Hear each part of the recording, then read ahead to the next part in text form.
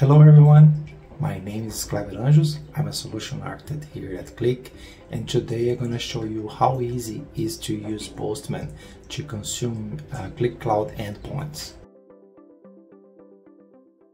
What you're seeing my screen is Qlik's website, qlik.dev, which contains all the, the documentation that a Qlik Cloud developer might need.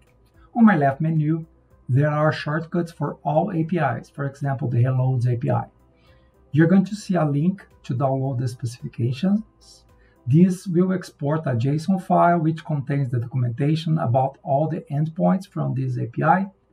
Let me download this file which contains the specification. And now let me go to my Postman workspace. There is a button import. Just drag and drop the file to this area and press the orange import button. This will import the specification, which will be available at my collections. As you can see, it was imported as expected. Now I need to configure the authentication. I highly recommend using a bearer token. There is a tutorial at qlik.dev about how to get one token let me copy and paste my token here. Now you need to set a variable to hold your tenant address.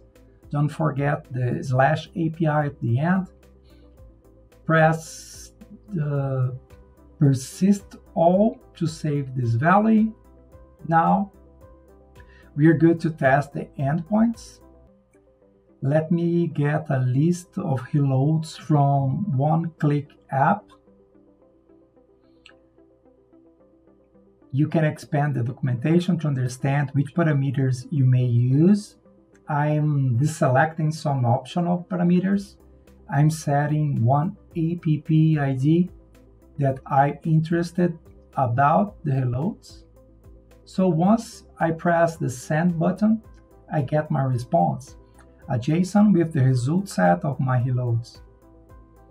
I can use this reload ID uh, for a more detailed investigation, let me copy to use it in another request. Let me check the documentation. In this case, I need to set a path with the reload ID and let me press the send button again so I get the results. That's all for today. Have fun with Qlik Cloud's APIs.